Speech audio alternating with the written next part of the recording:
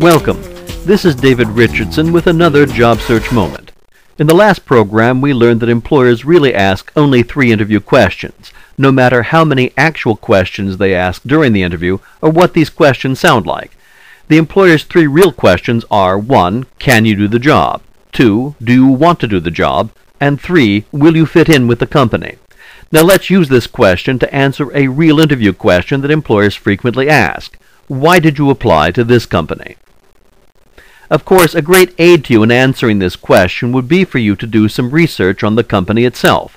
The library is a good place to find information, and you can always ask the librarian to help if you're having trouble. That's a plus. But there are other, even quicker ways to find the information you need. First, look up the company on the internet. Just type the company's name in a search engine, such as Google, and explore some of the results.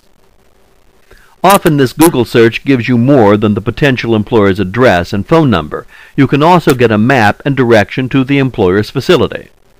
Yet another technique is to try a business information site such as Manta.com, spelled M-A-N-T-A with the .com ending. At this site you can type the employer's name into the site search box. The site will draw upon a database of thousands of businesses. If your employer is in the database, which it probably is, a thumbnail sketch of the business will appear. This sketch will include the business address, phone number, and often a website. In addition, it will tell you the employer's business category, the number of employees, and often the names of a company contact or two.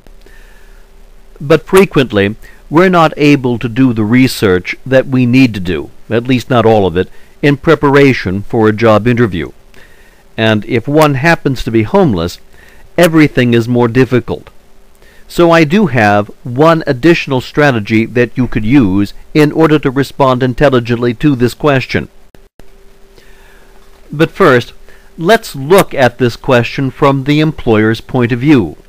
Why is the employer asking it at all? Well, first of all, he wants to know if you have done any thinking about your career. If you haven't thought about your career, why should the employer? In addition, he wants to know if you will make a good fit. Do you know enough about the company to make that judgment? So he's attempting to find out how much effort you have placed in the selection of this job for yourself. Now you can see if you haven't done enough research, it's going to be difficult to respond to the employer's concerns. So let's see what we can do to help you. To do this, we're going to cover four points. First of all, an employer is going to look at the environment of his company as a place that employees would like to work, one that enriches them, one that gives them opportunity. Secondly, He's always going to believe that his company is going to grow and he wants employees who want to grow with him. That is, employees who want to equip themselves with new skills in order to prepare themselves. And that's the third point here. Prepare themselves for what? Greater responsibility.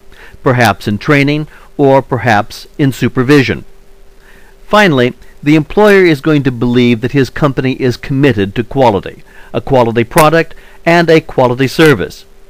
These four points a good working environment, professional growth, opportunities to take on new challenges and responsibilities, and fourthly and finally, a quality product or service. These are the four points that you want to emphasize as the reasons you selected this employer. Here is an example. I like the environment of a company this size. It gives me the opportunity to grow as the company grows, to learn new skills and take on new responsibilities. In addition, your company has a reputation for quality. That's important to me. That's why I've applied here. This answer covers all of the four points that we've mentioned. An employer simply will not disagree with you. Any additional information that you add from your research will simply make your answer stronger. So use this strategy in your next job interview and see the result. In the next job search moment, we'll apply this insight to yet another question, one that gives most job seekers the chills, and it is generally the first question that employers ask. Tell me about yourself. Until next time, this is David Richardson for Job Search Moment saying, you can get that job, so let's get it done.